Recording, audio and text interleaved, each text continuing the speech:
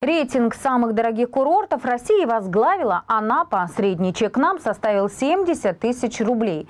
В списке также оказались Евпатория, Ялта, Песчаные Исаки. По данным сервиса бронирования, самый дорогой летний тур по России обошелся покупателям в 288 тысяч рублей. За эти деньги двое взрослых и двое детей полетят в Ялту. В отель 4 звезды с системой питания все включено. В целом, как посчитали специалисты сервиса, в 2019 году средний чек за летний тур снизился на 3000 рублей, составил 39 тысяч рублей.